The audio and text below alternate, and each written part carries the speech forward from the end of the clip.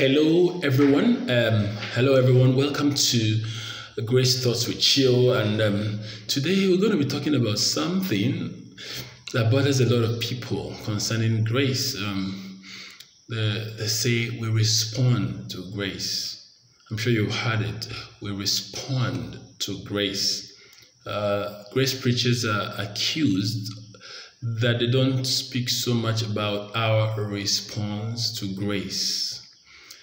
Uh, uh, this is uh, an attempt by people who don't believe in the grace gospel, which is the only gospel, to sneak in work through the back door because they, they, their thinking is how do you talk about grace as just receiving and receiving and you give nothing in return? So they speak about, you know, because we have received grace, therefore we we need to love our brothers and sisters, love God back, and stuff like that. Um, when, when you do that, you are restoring or bringing back the reward system and the works system into the gospel of Christ, and that is absolutely wrong. Grace, yes, is all about receiving and resting in what you have received. You are not required to give anything back to God. When God blesses you, it's not because He's expecting something in return from you. Don't think that because God gives you money, you are now obliged or you should, you know, as people say, pay your tithe, uh, uh, give, give to the ministry, give to the church, give to the poor.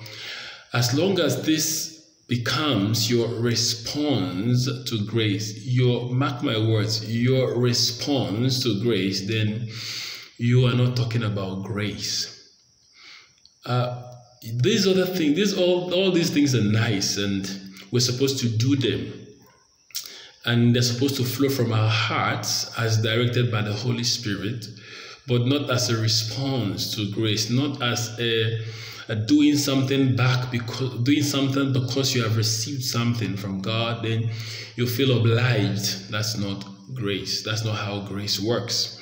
I like I like how John put it. You know, John John talks about wine.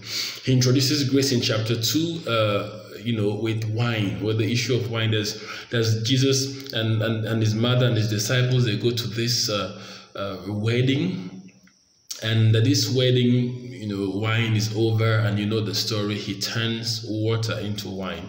Uh, that story has so many levels of significance for everyone who is interested in grace. But I'm going to just pick out that part of the wine. How do you how do you respond to good wine? Let me read uh, John chapter 2 and verse 11 for you. Sorry, verse 10 for you. And the master of the feast said to Jesus, Everyone serves the good wine first.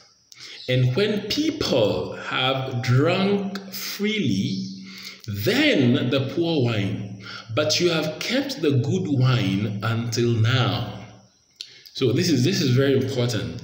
How do you respond to good wine? When when God gives you good wine, what, what's your response? Do you give him good wine back?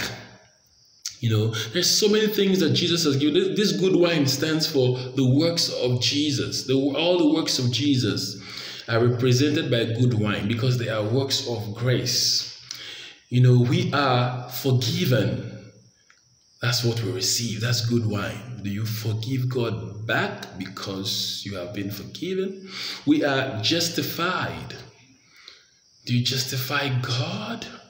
We are sanctified we are redeemed. You know, I just listed the works of Jesus here. We are saved. Do you, do you save God back? We are loved. Do you love God back? Can you? Uh, we are adopted. What do you do in this case where you are adopted? The, you're given good wine of adoption. We are glorified. What do you do? What's your response? Now, my understanding is that when you are given good wine, You drink it. It's as simple as that. You drink it. You simply plain drink it. You enjoy it. This is the proper response to grace. When God gives you wine, good wine, a real good wine that is better than the wine of the Old Testament of works, the wine of, of, of, of efforts, justification by efforts, the wine of self righteousness is bad wine. And God gives you good wine in Christ Jesus. What's your response? You drink it, you enjoy it.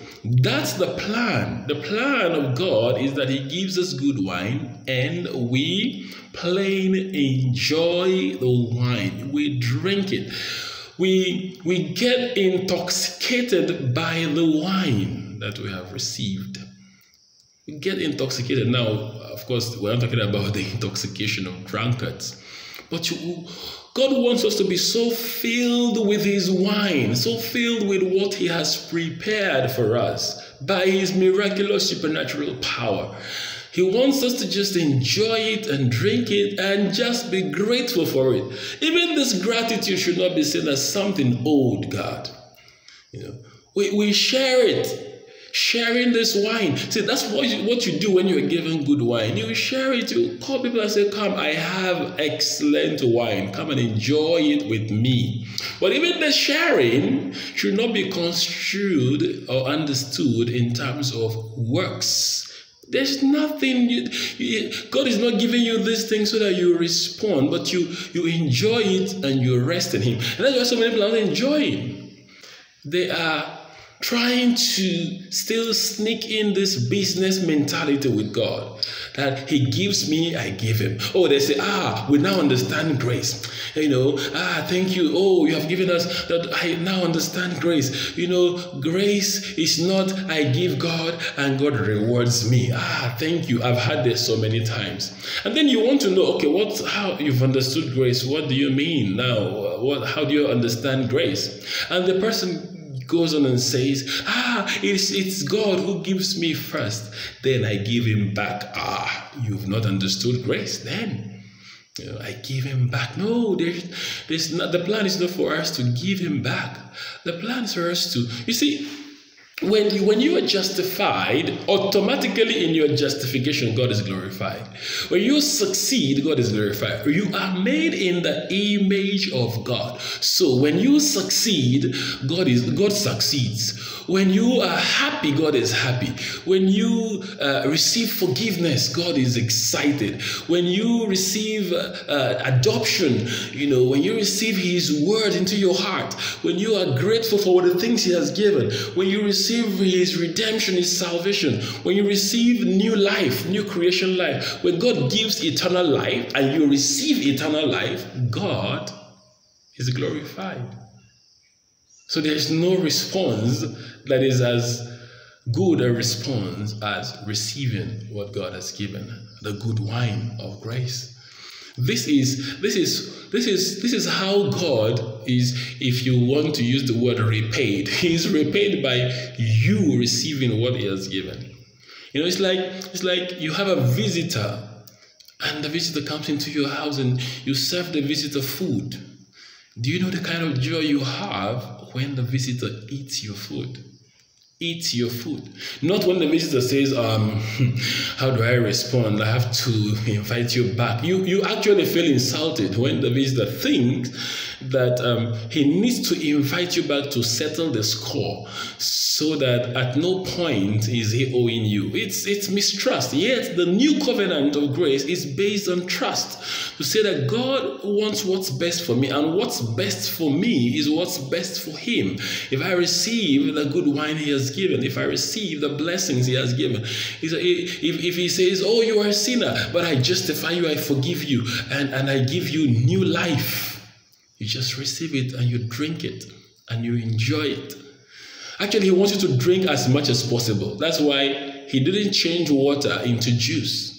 He didn't change water into grape juice, as some people say. He changed water into wine because He wants you to enjoy it, to drink it until you get intoxicated. You get crazy about His grace. You can't be crazy on juice. You can't be crazy on, on just uh, uh, uh, uh sugary water. Know, you can't. You you you go crazy, and the wine takes over your life.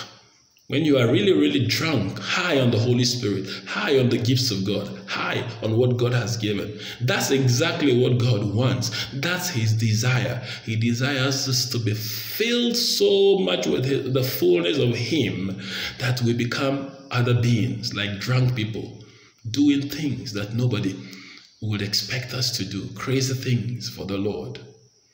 The Lord bless you.